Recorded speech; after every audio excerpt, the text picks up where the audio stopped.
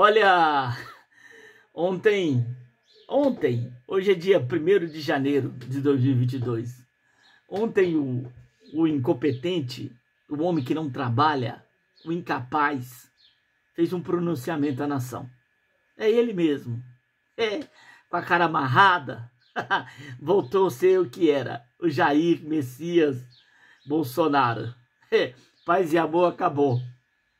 Ele não suporta falar de amor.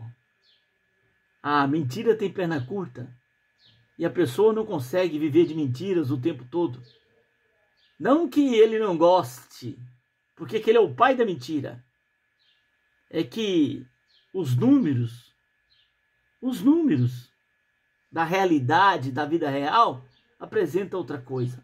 Infração, fome, desemprego, falta de esperança.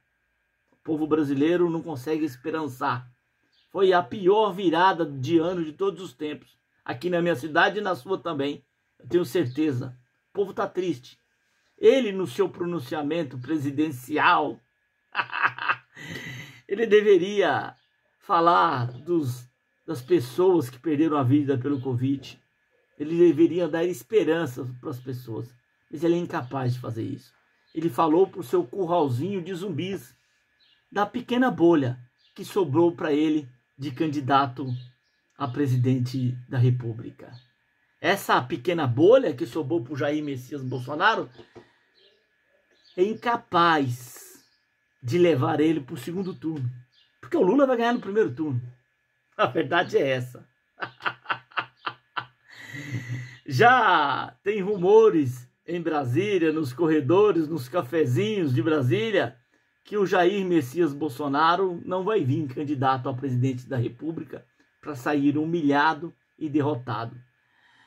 Muitos amigos próximos do presidente estão fofocando, relatando que ele tem a intenção de sair candidato ao Senado pelo estado de Santa Catarina.